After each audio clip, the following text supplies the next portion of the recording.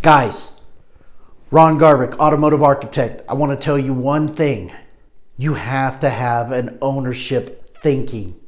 It doesn't matter if you're a sales manager or if you're a salesperson, you have to have ownership thinking. This this automotive business, this is your business, okay?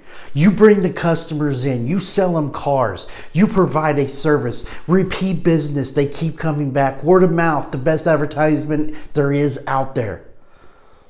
You have to think like an owner because this is your business. You have to have a positive mindset. You have to be motivated.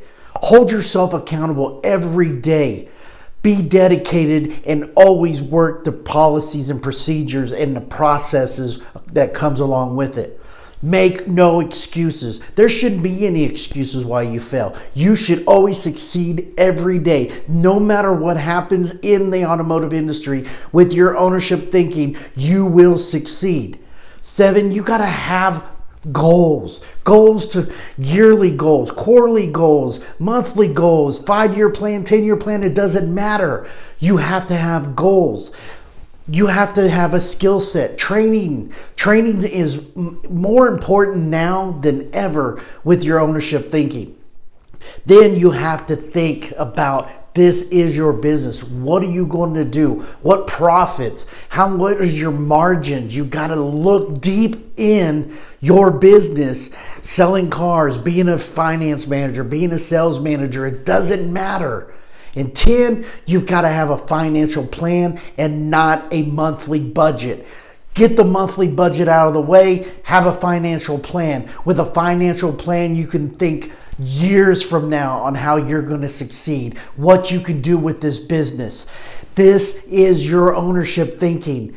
Always have a mindset that every day you walk through the door. Yes, the dealer uh, brings the inventory, pays for the office supplies, pays for the utilities, provides you the desk and the computer that you sit at. But this is your business. And if you fail, it's your fault. It's not the dealer's fault. It's not the sales manager's fault. It's not the owner's fault. It's not the GM's fault. It's not the manufacturer's fault. It's your fault. So have that positive mindset and have that ownership thinking.